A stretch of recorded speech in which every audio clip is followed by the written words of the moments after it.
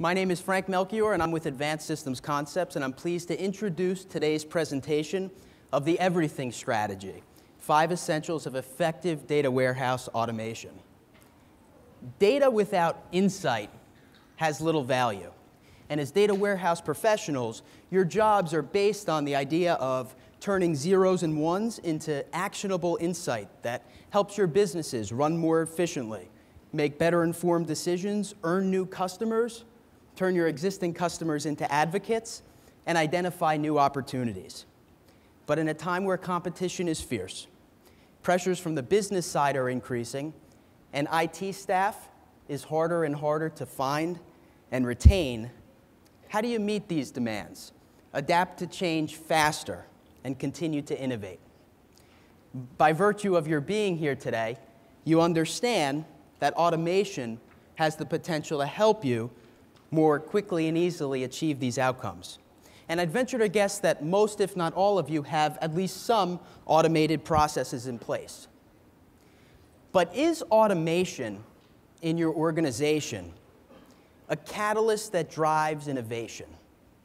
One of the biggest obstacles to the adoption and effectiveness of automation is the lack of a holistic plan. In today's presentation, we hope uh, you'll be challenged uh, to begin looking at automation in a new and different way. You'll be introduced to the everything strategy, an automation centric, proactive, and unifying approach designed to drive digital transformation and evolve faster than the complexity it's designed to simplify. Presenting the everything strategy is today's speaker, Ralph Paparo. Ralph has built a career driving value through the design and delivery of business and technical systems. As the Senior Director of Data Warehouse for Mediacom Communications, the fifth largest cable and internet company in the United States, Ralph is responsible for the strategic vision and operational team managing Informatica Power Center, data warehouse automation, and business intelligence. Ralph is an automation advocate. He's going to share his story today and also outline for you actionable steps you can take to improve coordination, performance, and end-to-end visibility of your processes and their outcomes. So please join me in welcoming to the stage today's speaker, Ralph Paparo.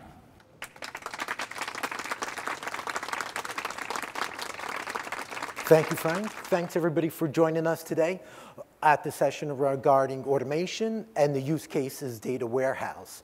This happens to be one of my favorite topics. And the reason for that is it touches so many parts of technology. We heard yesterday at the market perspectives some of the real challenges that we're having today with this explosion in data and data management.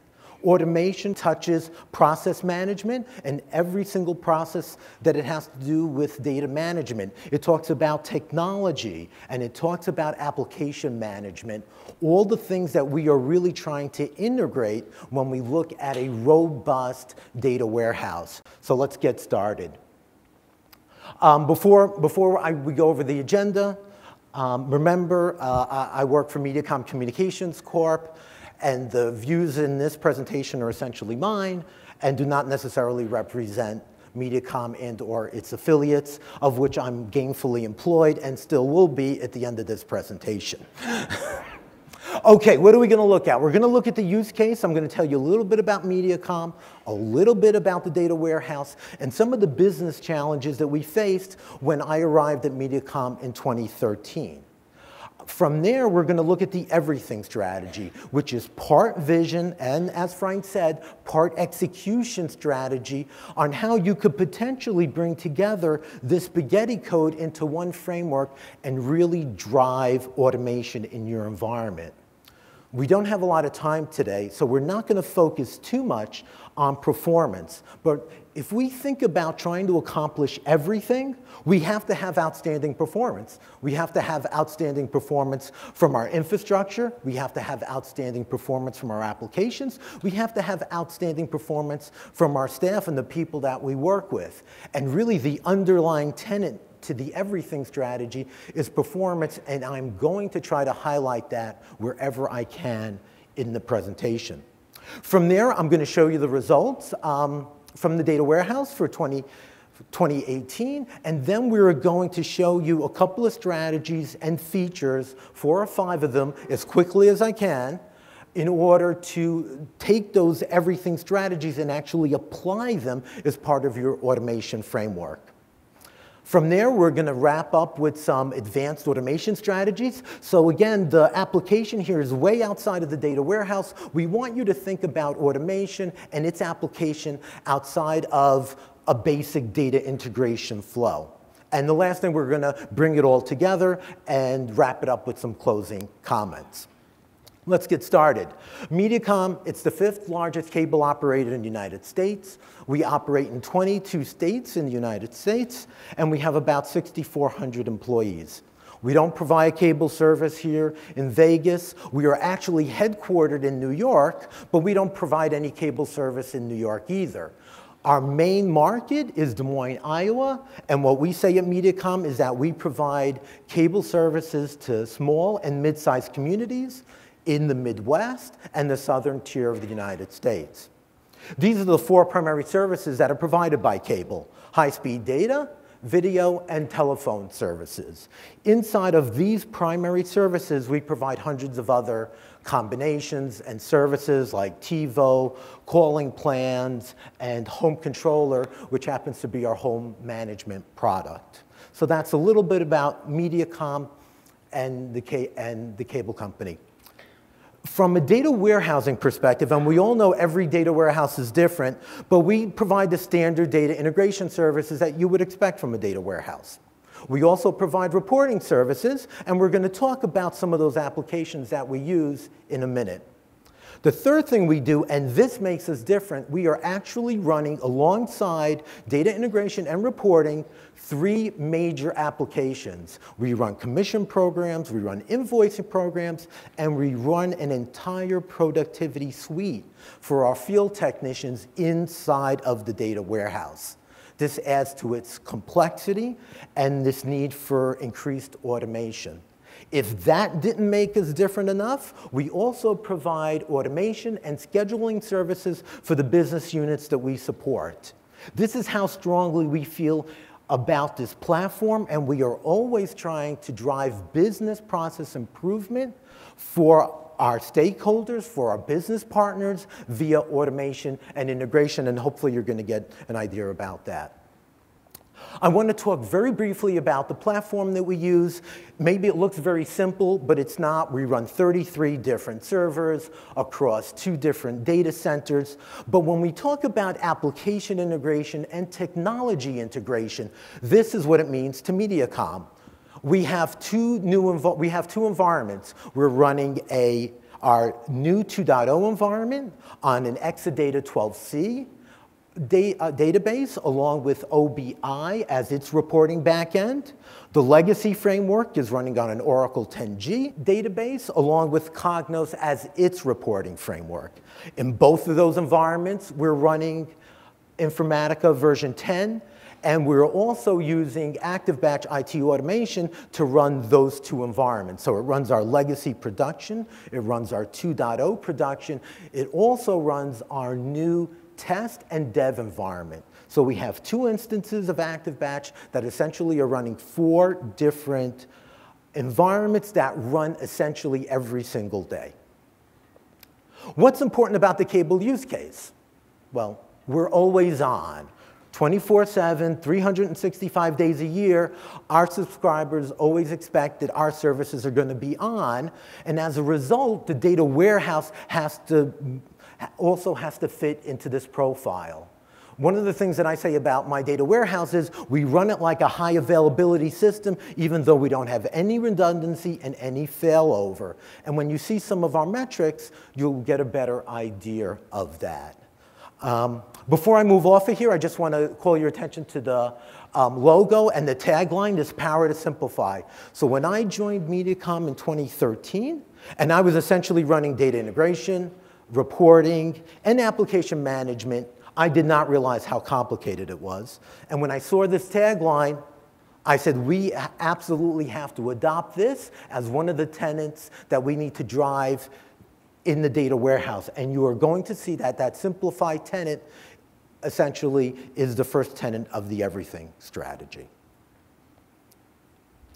Let's go back to 2013. We can't spend a lot of time talking about this environment, but this is what we were running. We were running a highly distributed code-based environment.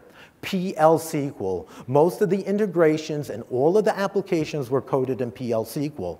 This should mean one thing to you, not very agile, right? So this had to change. The other thing that we had was we had daily failures, and those failures were really consuming the team all day, every single day. I had a consultant that worked for me, and in, on his desk, he had the days between failures. That was always zero. It never moved from zero. I'm not saying we never had a failure, but if we did, it was probably more of a miracle than anything else. Um, the batch window extended 18 to 20 hours. Again, we're talking about this rhythm, so I don't need to explain to you if we're pushing 18, 19, 20 hours, the chances are that we were going to run into the next day's run was absolutely very high risk, and this was something we had to fix as well. If you were to ask me what the number one problem was, really what the number one problem with this whole platform and I could almost describe it as spaghetti if I wanted to, it was that we could not evaluate our own performance. We didn't know if we had process problems. We didn't know if we had technology problems. We didn't know if we had infrastructure problems. We didn't know if we had database problems. We had no idea. So after two months at uh, Mediacom, I recommended that we would put in an automation framework to help solve all of these problems, plus many other issues. So the first thing that I did was I went to the people at Mediacom and I asked, hey, do we have any type of automation tool? You want to guess what the reaction was that I got? What is that? Never heard of it. Okay, so that was obstacle number one. I didn't get the warmest reception from my boss either, but thankfully he funded our initial project. But what we realized we needed was we really needed a strategy and um, a communication approach to really tell everyone what we were going to do. And this is how the everything strategy was born. It has five tenets. That first one is simplify everything. I told my team we had to simplify integration, reporting, and application management in the data warehouse. And I also told them the way you were going to do it was you were going to put it into a singular platform. That's the automation framework that we were building. Think about it. You tell your team, okay, I need you to simplify, make things better. How do you know? You don't know until you start to monitor your own performance, until you really understand the performance, whether it's at the database level or whether it's the process level. So we instituted monitoring across all the critical systems that we were doing.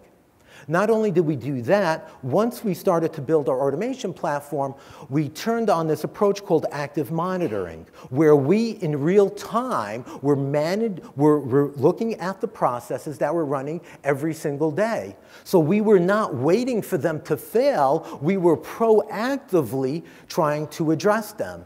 And this should not escape you. Your ability to manage processes in real time is really the key to building a very effective strategy. From there, we moved on to control and automate. If you work in the data warehouse like I do, some days you feel like you don't control anything. Your data sources don't get delivered on time. The data inside your data sources are corrupted. Um, your infrastructure may have a problem. You may have connectivity, right? You are at risk for all or any of those things on any given day. We decided we had to take control of the data warehouse and automate every single process that we could. The main thing that we did here was we came off of a time dependency because that old spaghetti framework was built based on time and we moved it to a trigger, constraint, dependency-based process. The last two tenets here, automate and report, came from the business. They don't care that I'm spending all day trying to fix yesterday's runs. It doesn't matter to them. We all know the appetite for more data, better integration, and more reporting is absolutely something that the business continues to want from all of us. So we, so we adopted Informatica as the main tenant of the um, integrate strategy, right? This ability to connect everything to everything and essentially connect that highly, um, that highly distributed um, application and data set that we had.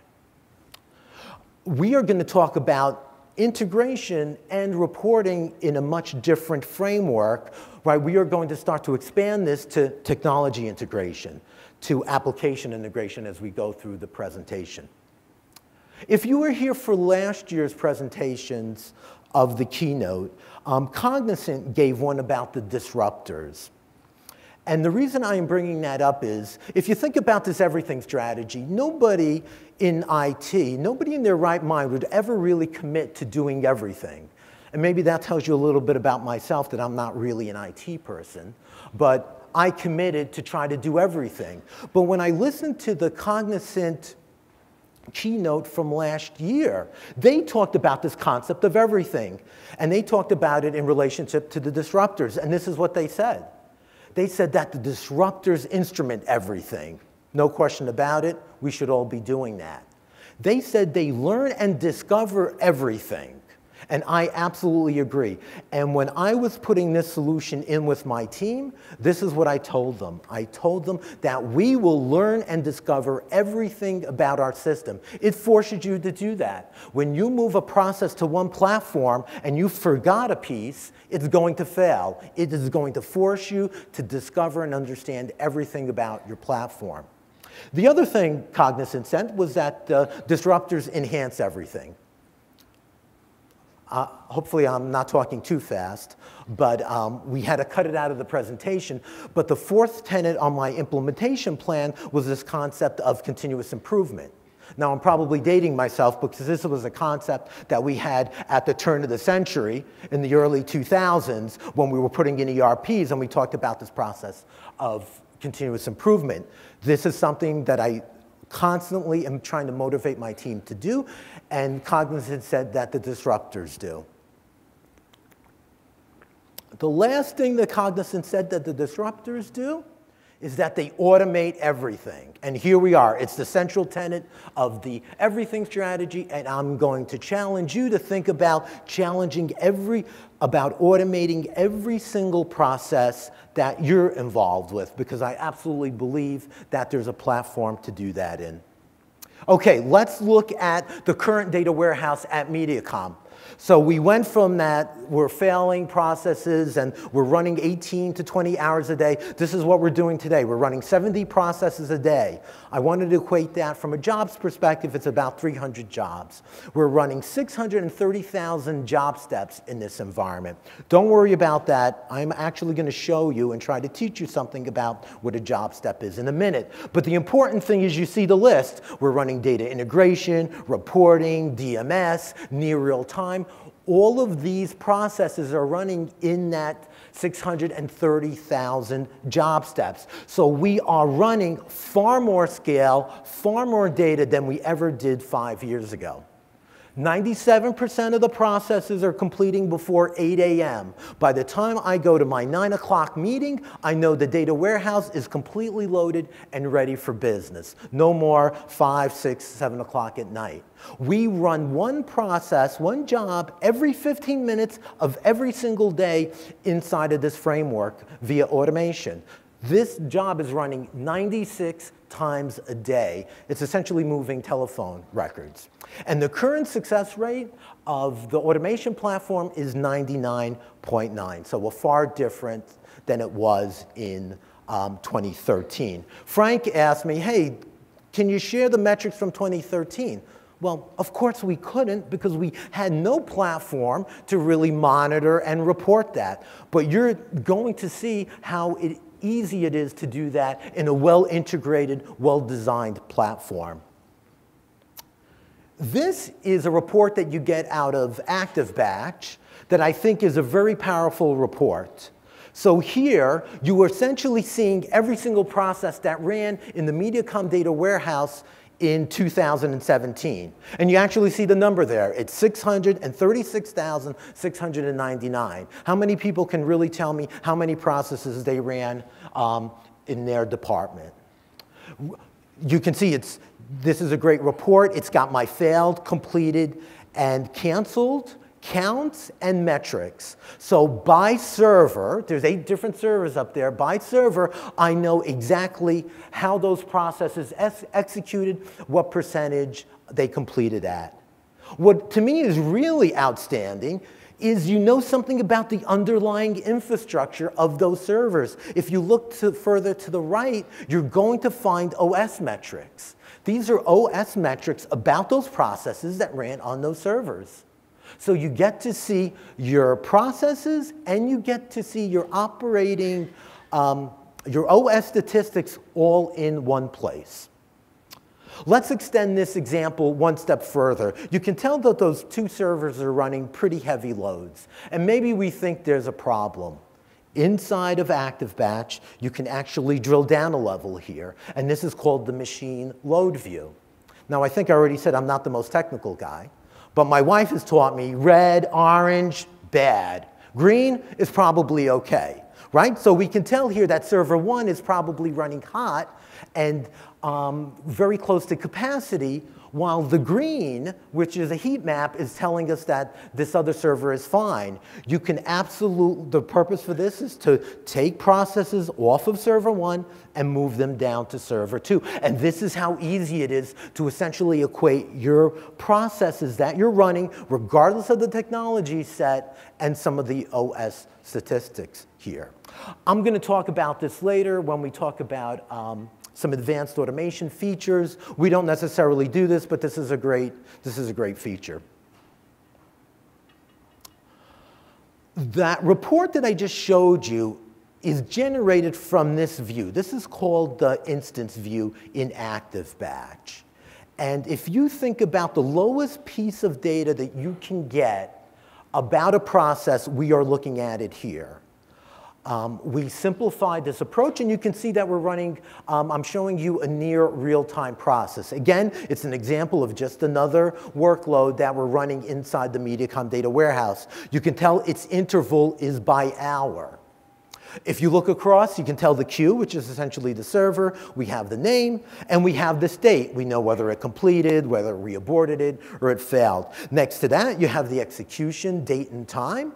And next to that, you have the duration. So you know exactly how long it took for this process to run inside of your framework. Next to that, it shows in parentheses whether it is running faster or slower than the 90 previous instances of that particular job. So you get instantaneous performance metrics about any particular process that you're running inside of the framework. If you look down at the bottom, we've expanded um, two of the jobs there. And I just, this is an example of a job step. So if you look at the very bottom line, it says EWP um, SP add. So here we are running an Oracle 10G um, store procedure that is actually pulling and loading data into our data warehouse. From there, we are creating two cubes inside of our Cognos framework, and you can see very clearly that we are actually integrating with a bat job. How many people still run bat jobs in their framework? Ah, we got one, two, right? Um, part of what I want to demonstrate to you here, it doesn't matter what that underlying technology is, configured correctly, you are going to be able to get this type of detail from this type of job step in any process that you build. I want to talk real quickly about the middle instance there, or the third one down. You see that it's maroon in color, and it clearly says it's failed. What happened with this instance, if you look at the purple line, we actually aborted this because you can see there that it's saying it ran 27 minutes beyond its expected completion time. Here we have automated the remediation of the failure. So we automatically reset this job, and as you can see, the 8 o'clock and the 9 o'clock instance ran successfully. If we let this job fail or we let it run long, it absolutely would have interfered with all the successive planned runs here for the NRT. Again, delivering a tremendous amount of value not only to me, but also to my team. Are we wondering how we build something like this? Be careful what you ask for. Um, I want to give you a real simple example of a data integration job. This essentially has three major steps. In that 0-1 step, we're going to get our data. In our 0-2 step, we're going to integrate our data. And in step 3, we're going to do something with our data. I want you to focus on that red um, highlighted box. This is where we're going to demonstrate the integration of all the different technologies. We run a highly parameterized environment, so we're kicking off our variable in step one. Fair enough. In step two, we are now making an API call. I don't think I've ever heard so much discussion about APIs in my life before I came to Informatica World. I agree, this is the integration method of choice now. This is a job step available to you in Informatica. My team didn't have to build anything, they didn't have to design anything. Yes, they had to configure this, but that's all they had to do. And you can see that we are now really integrating an additional piece of technology into this process. The next step is we're hitting our file system, right? We're going to skip by that. And now we're running a PowerShell script. This PowerShell script is running from inside of the job right, from inside of this process. It doesn't live on any server. If this fails, the developer knows exactly where to go. The other advantage is we can run this process from any server because it's not script dependent based on the server. And this is the advantage here. So we're four steps in. We've already integrated three different technologies. I'm going to skip the next two steps. And of course, we have to use Informatica to integrate our data. Right? So what's that step? Start workflow. This, again, is a job step that is integrated with Informatica via active batch. Um, and it's essentially starting the workflow just like we would from the application. The second step is getting the session statistics. You probably do this as well. Again, every time you build a step, not only do you make it very visible, but you also track all those performance statistics along with it.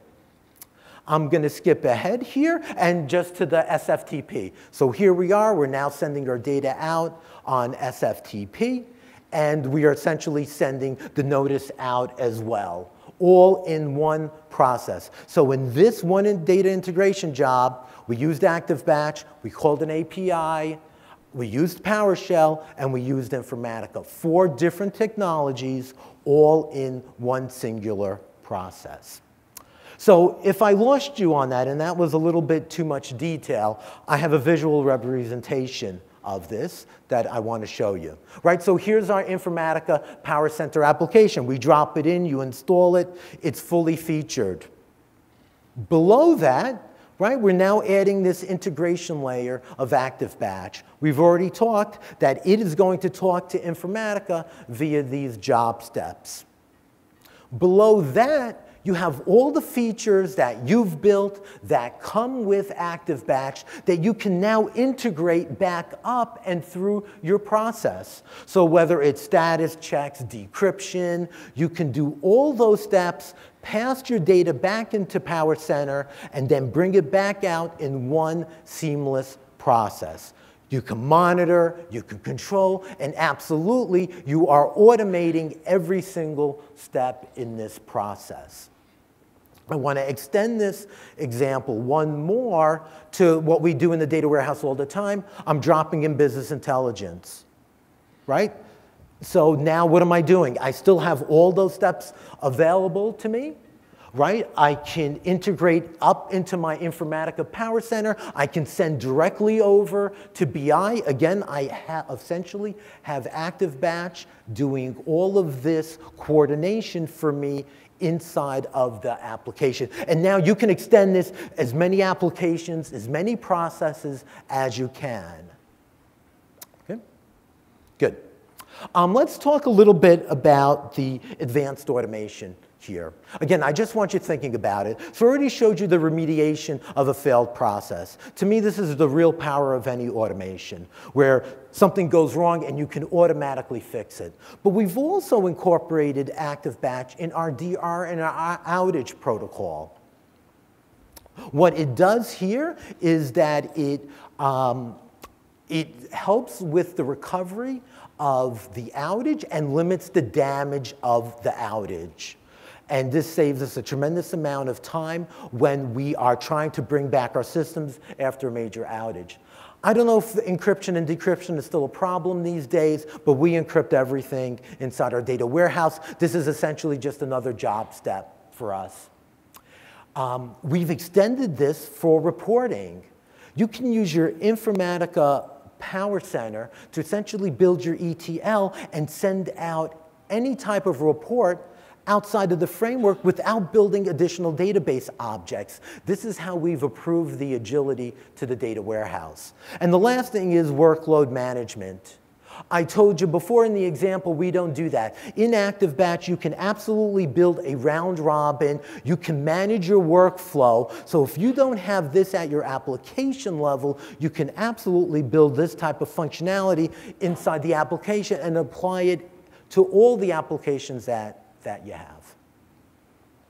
Okay, let's bring it back to the um, everything strategy. Can we simplify everything? Absolutely. If I can say one thing about ActiveBatch and that process is when we adopted it, we installed it, we configured it, and we started running it ourselves.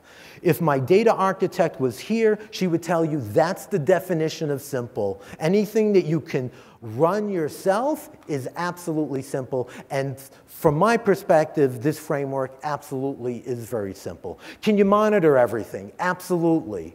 We have built a host of additional reports to make sure that we are constantly monitoring our system throughout today, even if we're not actively monitoring the environment. Can you control and automate everything? Well, I've probably already given you five or six different things that you can control and automate inside an environment.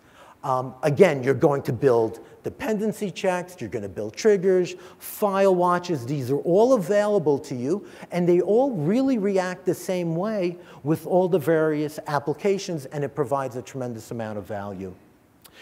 Can you integrate everything? Well, we've talked a lot about the integration. We can integrate technologies, we can integrate processes, and we can absolutely integrate applications. And can we report everything? Remember, this tenant is not about the business, it's for us. Can we report our own performance? Do we know how our own operating system is doing? Absolutely. You get some very key operational statistics out of this framework when you adopt this type of approach. Okay, last but not least, some closing comments here. Um, we really saw the payback here in six months. I happen to be a, a finance guy at heart, and I had built some complicated ROI model, which we completely junked after six months. You know when you have a hit, and we knew that we were going to be extremely successful here, and hopefully we've showed some of that. Um, Mediacom is now adopting ActiveBatch as its enterprise integration tool, so that's good news. I told you a little bit about um, the reaction I got when I introduced this concept and this application at Mediacom. It absolutely needs an advocation um, advocate.